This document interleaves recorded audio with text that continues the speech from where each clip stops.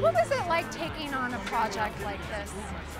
You know, it was the the fans are a very uh, passionate group, and it was extremely important to me to uh, not, at the very least, not disappoint them, but to deliver on their expectations.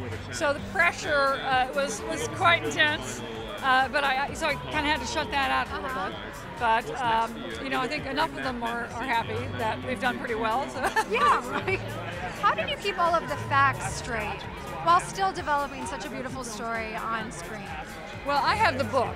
I have the great good fortune to have the book as a reference point at any time. I also have Stephanie herself to bounce ideas around with, and really, uh, Stephanie's an enormous resource also for the, the mythology of the universe that these stories exist in. So I'll, I could shoot her a question on email. You know, what color is uh, a wolf? Is you know Paul? What color wolf is you know? All the, you know so these you know, the silliest little questions, but they're important to me.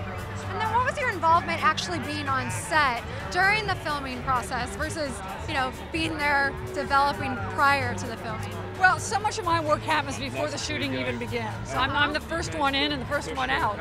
Um, and so my, by the time it gets to shooting, if I've done my job well and if I've satisfied the director, he has exactly what he needs to shoot.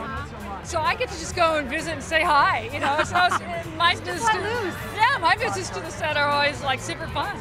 Now, what's unique about part one that you think really stands out from the rest of the saga? You know, part one, Breaking Dawn part one, is a really grown up story. It's about a marriage. You know, you, you say I do, and then the hard work begins.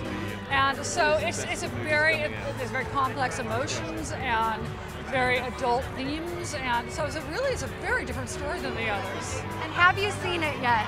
I have, I've seen it a couple times. A few times. I've seen it a few times, but I haven't seen it with the fans.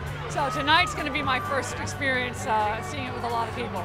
Oh, that will be so neat. Well, congratulations Thank and have so fun. Thanks so much.